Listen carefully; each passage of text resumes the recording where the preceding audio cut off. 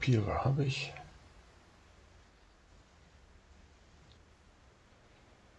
Ich sag mal, einen Preis bekomme ich dafür aber auch nicht. So wie ich hier eingepackt habe. Naja, aber es gibt Schlimmeres. Und damit einen wunderschönen guten Morgen zusammen. Auf geht's. Ich weiß, es ist lange her, dass ihr was von mir gesehen habt. Aber es gibt halt so Momente, wo man nicht unbedingt Lust hat zum Aufnehmen. Aber seht ja, es geht wieder weiter.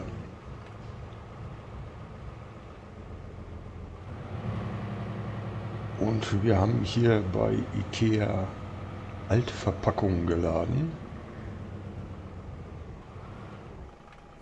Und die bringen wir auf die Insel. Ja, ihr habt richtig gehört, es geht mal wieder nach England.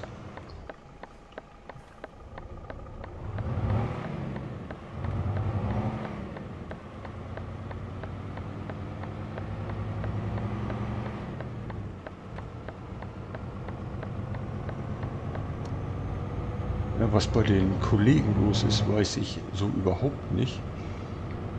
Demnächst links ab. Weil ich habe mich äh, mal so eine ganze Weile jetzt mit ETS so überhaupt nicht beschäftigt. Biege nach links ab. Aber ich denke mal, ihr werdet ja bei den Kollegen geguckt haben und seid deshalb auch im Bilde, was alles so passiert ist. Links halten und dann links abbiegen. Aber jetzt heißt es für uns erstmal ab auf die Autobahn und Kilometer machen.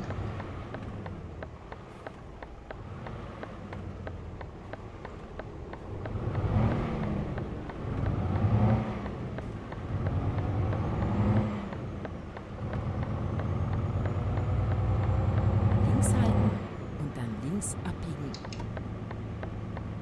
Raus aus Hamburg und ab ab. Richtung Insel.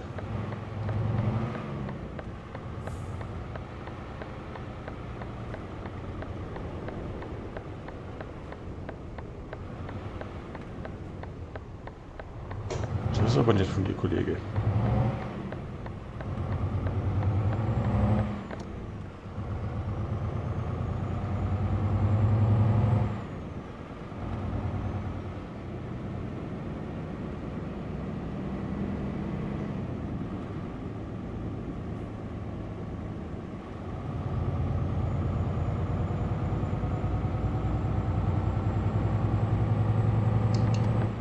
Bitte links halten.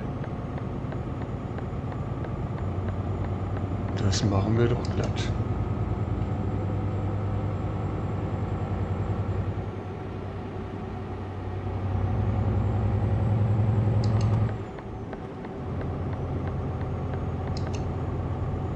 So, Tempomat eingeloggt.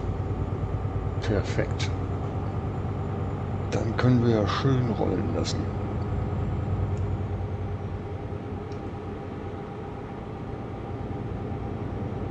Und ja, ich weiß, die 1.41 ist draußen. Aber ihr kennt das Spielchen. Ich bleibe jetzt erstmal noch auf der 1.40, bis dann auch die Promods wieder mit da ist. Weil ansonsten ist es immer so ein bisschen blöd, wenn du dann zwischen den Maps hin und her wechselst. Und es gab jetzt ja auch auf der 1.41 jetzt für den Singleplayer nichts wirklich Bedeutendes, wo man sagt, okay, das muss ich jetzt unbedingt haben. Und darum können wir, denke ich mal, auch noch warten, bis dann die Promods Bitte draußen rechts ist. halten.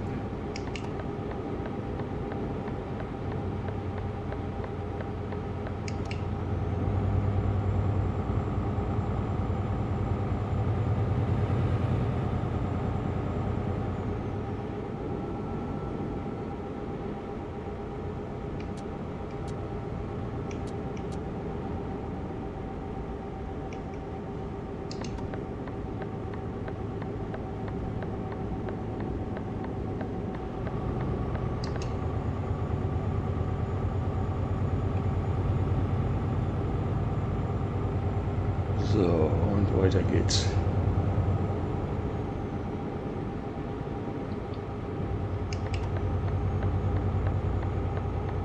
Aber der nächste Rastplatz wird erstmal unserer sein.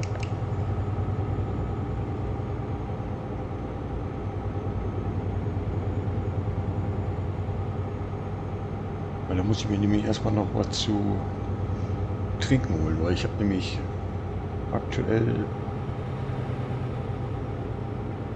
nichts im LKW, worauf ich gerade so richtig Bock habe.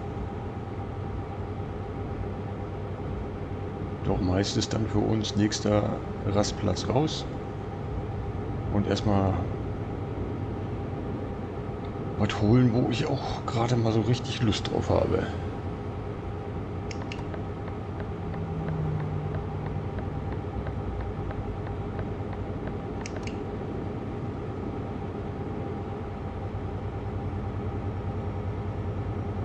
Ist jetzt auch wirklich das erste Mal, dass ich jetzt seit dem letzten Video wieder fahre.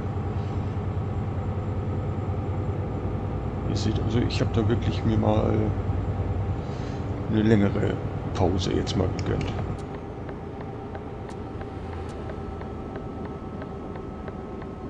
Und hier haben wir doch schon das, was wir wollen.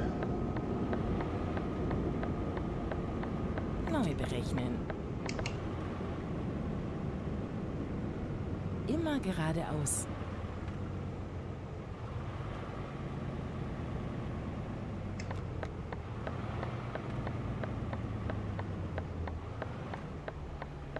So, dann werde ich mal eben hier schnell reinhuschen und mir was holen und wir sehen uns dann gleich wieder. Also bis gleich. So, das packen wir mal den Kühlschrank. Und würde ich Lass uns sagen, loslegen. genau, lass uns loslegen. Da kommt nichts.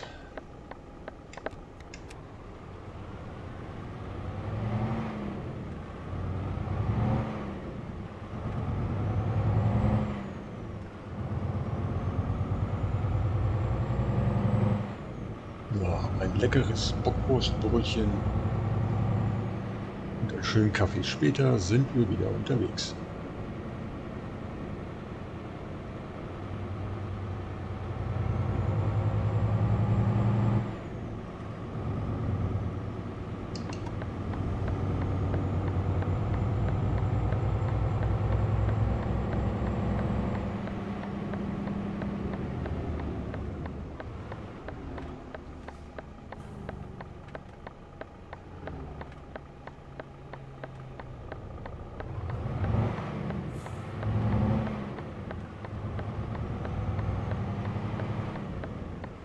Na, So schwer kann der Hubschrauber doch aber auch nicht sein.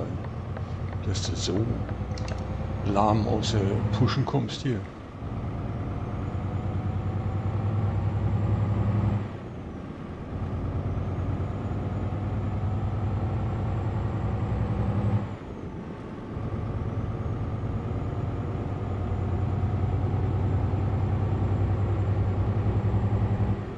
Für die, die jetzt erwarten, dass wir über Calais fahren, die muss ich enttäuschen. Wir fahren über Holland, in Europort. Weil das bietet sich mehr an.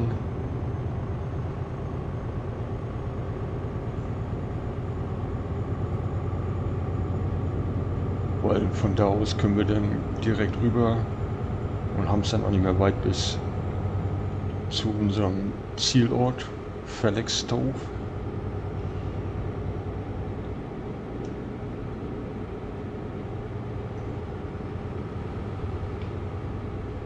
Aber was ich mitbekommen habe, äh,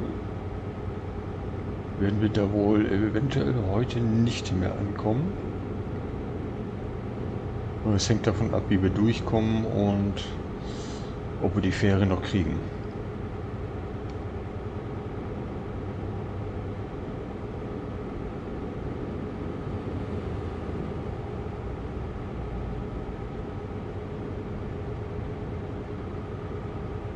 Und ein oder andere kann sich jetzt vielleicht fragen, ja, wenn er eine Fähre kriegen muss, warum macht er dann noch so eine ausgiebige Pause? Weil ich es kann. Und hier bei MBT sind wir auch nicht auf der Flucht. Und haben da jetzt auch keine direkten äh, Deadlines, wo es dann heißt, du musst bis dann und dann da sein.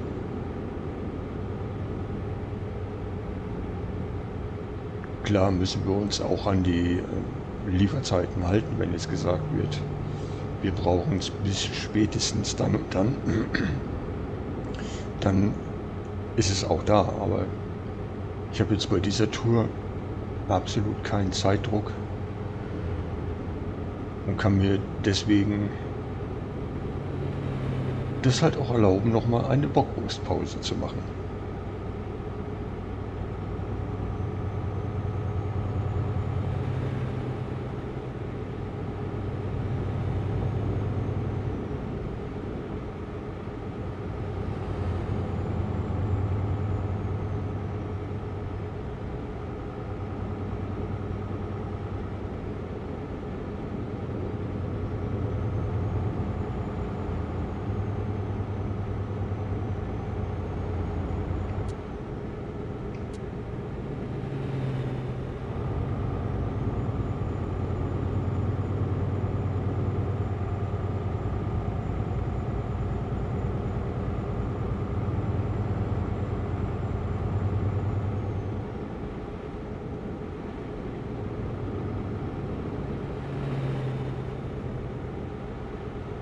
Und was ich jetzt auch gar nicht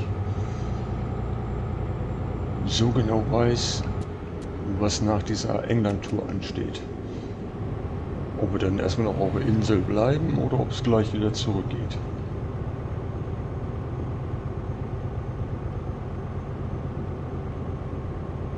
Da ist wieder das alte Spiel, melde dich, wenn du leer bist.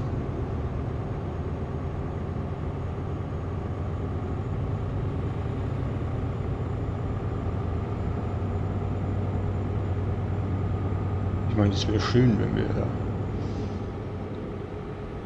da gleich noch wieder was kriegen und ich noch wieder zumindest nach Deutschland komme. Oder zumindest wieder aus Festland, um es mal so zu sagen. Und wir haben jetzt heute Donnerstag. Freitag da ausliefern und wenn ich dann noch wieder ein bisschen hier noch fahren kann, das wäre nicht schlecht.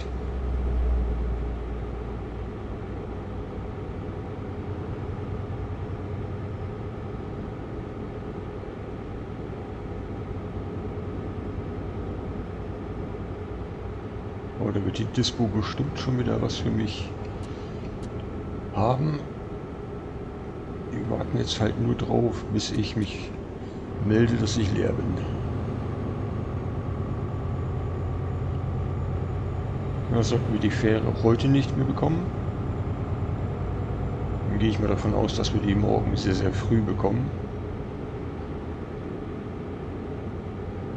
Und ich dementsprechend auch noch genug Zeit dann habe zum Fahren. Rechts halten und dann Ausfahrt rechts nehmen.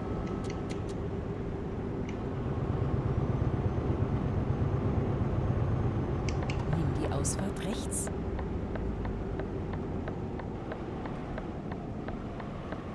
Biege nach rechts ab.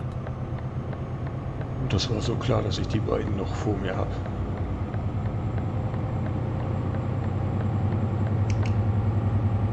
Dafür ist vor mir auch einer mit Geschmack. Er fährt auch mit einem neuen DAF durch die Gegend.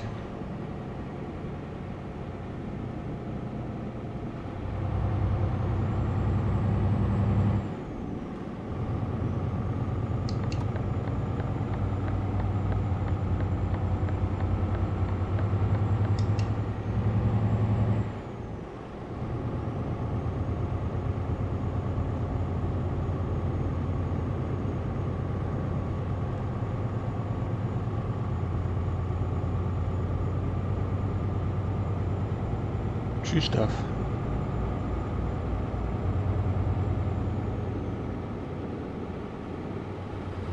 Oh, Holzauflieger stelle ich mir unter anderem auch äh, schon ein bisschen spannend vor.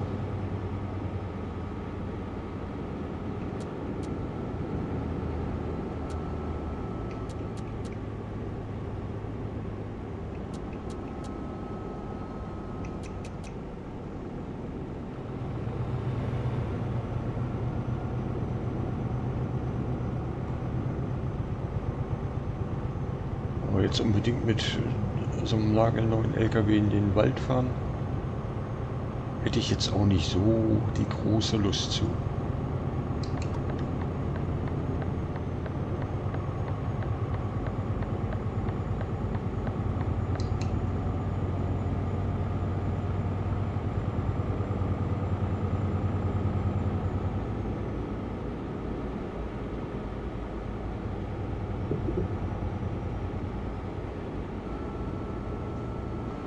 Aber wir werden hier mal in Holland runtergehen auf die 80.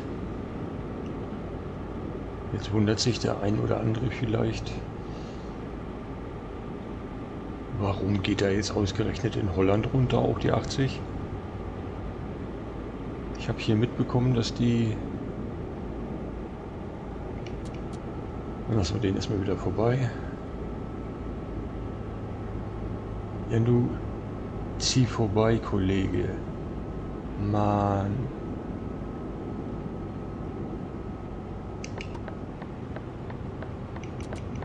Immer geradeaus. Hier in den Niederlanden sind die nämlich, was Blitzen angeht, ähm, jo, schon auf einem anderen Level unterwegs. Wo in Deutschland ähm, bis 89 geduldet wird, sind die hier in Holland äh, aber anders unterwegs. Alter, was hast du für ein Problem?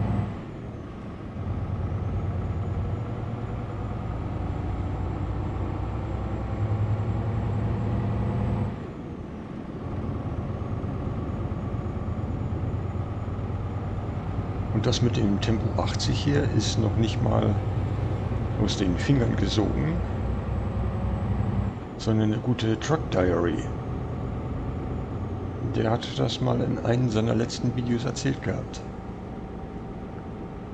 Da ist wohl auch ein Kollege von ihm äh, zwei oder dreimal an einem Tag in Holland geblitzt worden. Und darum fährt er in den Niederlanden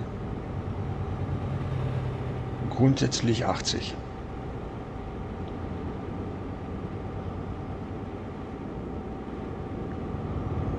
Da ich ja der Firma erst noch ein Ticket beschert habe, muss ja nicht gleich sein, dass wir hier direkt das nächste abliefern.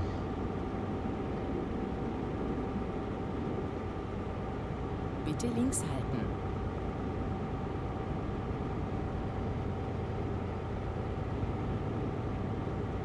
Ja, machen wir das lieber so, dass wir lieber ein bisschen langsamer fahren.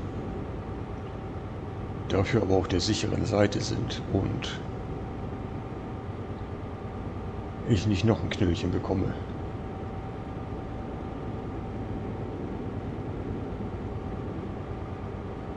Weil irgendwann bekommt man dann das Knöllchen, was das fast zum Überlaufen bringt und ich dann erstmal Fußgänger bin. Und das wäre für die Firma äußerst unpraktisch.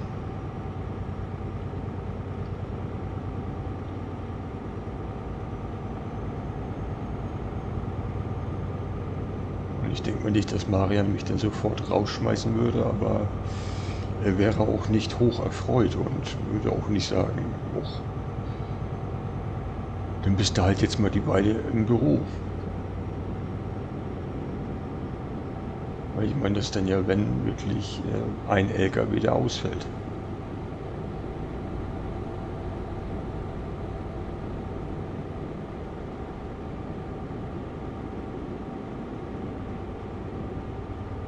Bitte links halten.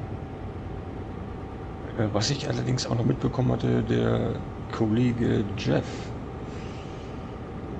beziehungsweise Jeffrey, der hat auch mit Videos angefangen.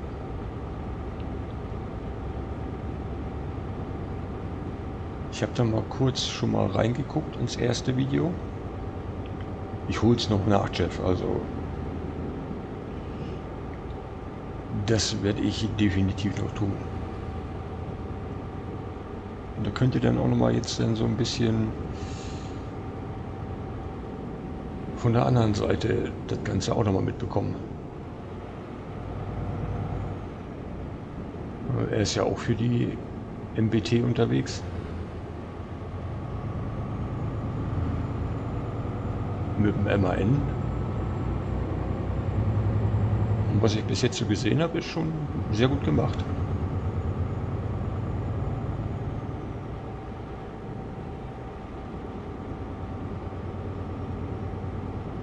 wenn ich es nicht vergessen habe, habe ich ihn jetzt auch schon mit verlinkt.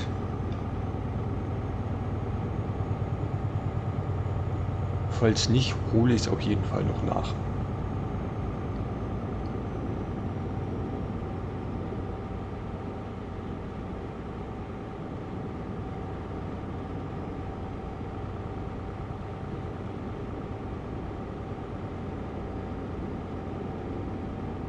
Ich denke mal so fahrzeugtechnisch, äh, fahrzeugtechnisch ist am Hafen dann auch Schicht im Schacht. Außer wir kommen halt noch um die Fähre.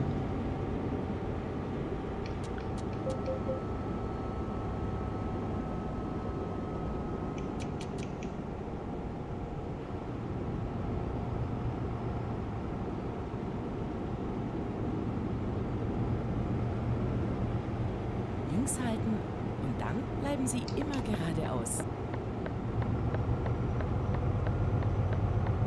Immer geradeaus.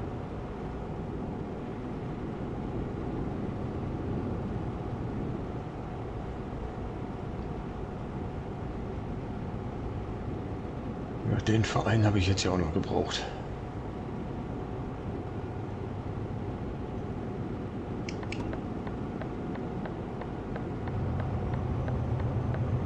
Aber die wollen zum Glück nichts von mir.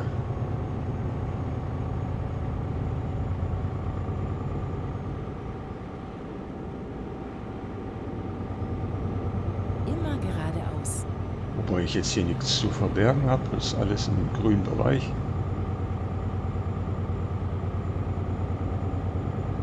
Wenn du da an einen gerätst, der wirklich gerade irgendwie einen schlechten Tag hat, wenn der was finden will, der findet was.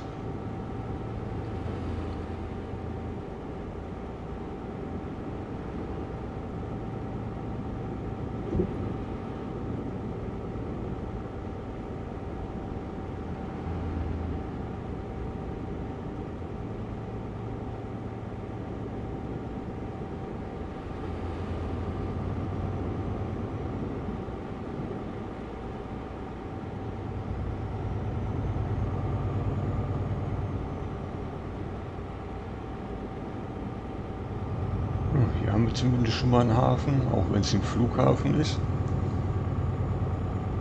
Aber da wollen wir ja nicht hin.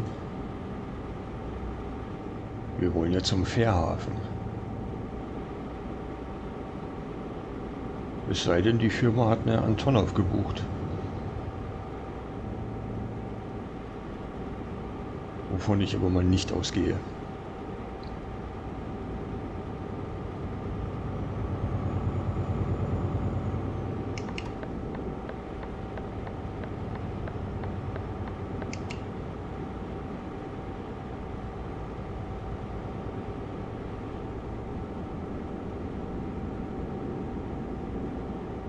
Muss auch ganz ehrlich sagen, ich finde es jetzt gar nicht mal mehr so schlimm, dass England jetzt auch mal vermehrt auf dem Zettel steht. Und gewöhnt sich doch relativ schnell an den Linksverkehr. Und ja, ich habe bis jetzt noch nicht wirklich viel von England gesehen. Aber ich denke mal, oh, das wird sich durchaus mal ändern. Dass ich dann mal so quer durch England durch muss.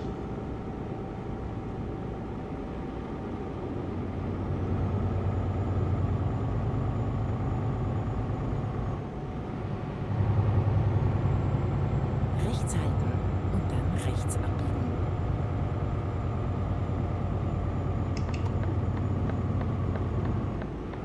Biege nach rechts ab.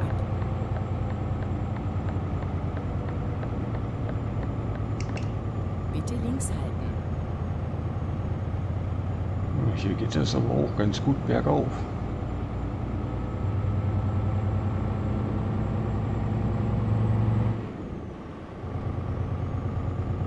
Und wieder gut bergunter.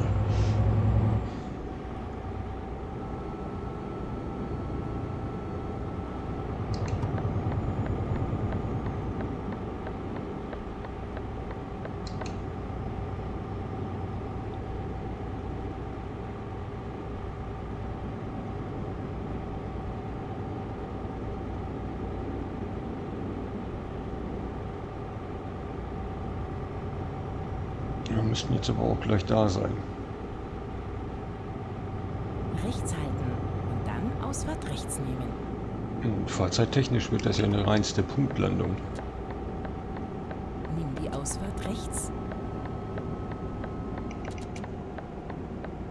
Rechts halten und dann rechts abbiegen.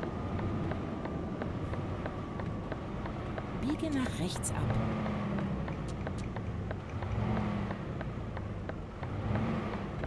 Ja, komm, Onkel. Ja, so ist doch lieb.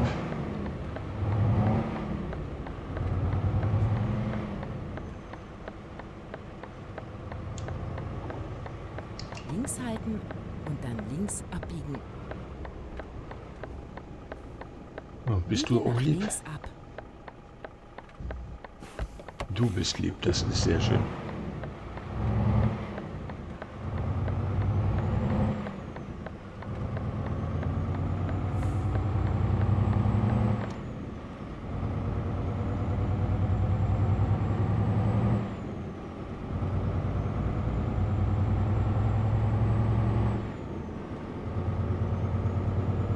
Demnächst rechts abbiegen.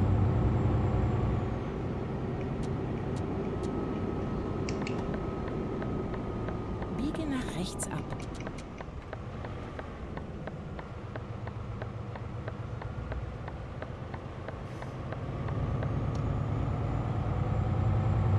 Demnächst links abbiegen.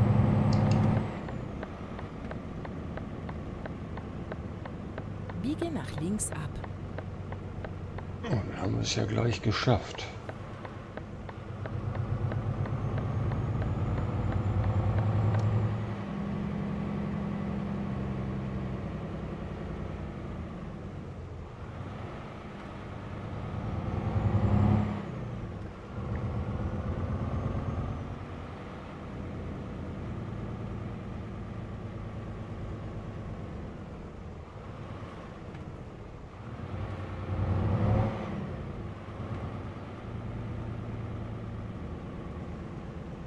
Neue Route finden.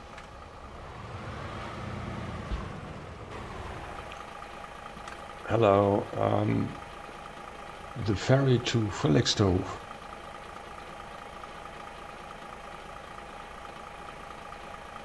Later this day. Okay. And when? Okay. Yeah, I'm parking and... Okay, thank you.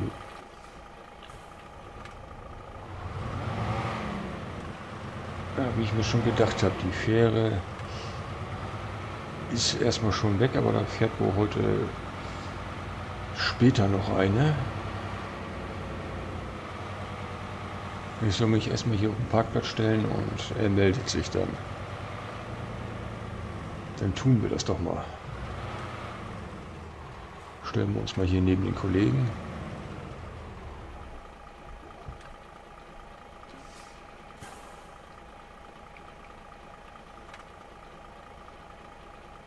Aber wir wollen ihm hier nicht den Auflieger wegrammen hier. Darum Holen wir lieber noch mal kurz ein bisschen was aus.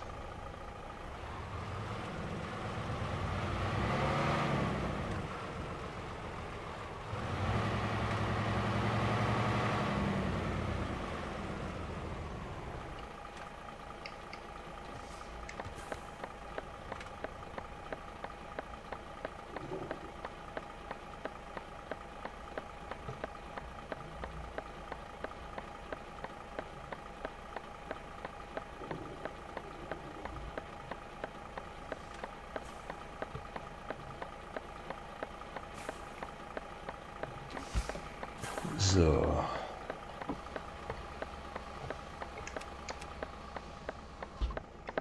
Und dann ist jetzt hier für uns erstmal Schicht im Schacht. Ich werde mich jetzt hier hinten nochmal ein bisschen drauflegen und warten, bis der Kollege hier ankommt und klopft und Bescheid sagt. Und jo, wir sehen uns dann wieder, wenn wir drüben angekommen sind auf der Insel und es dann von da aus munter weitergeht. Vielen Dank fürs Zusehen und bis zum nächsten Mal dann. Tschüss.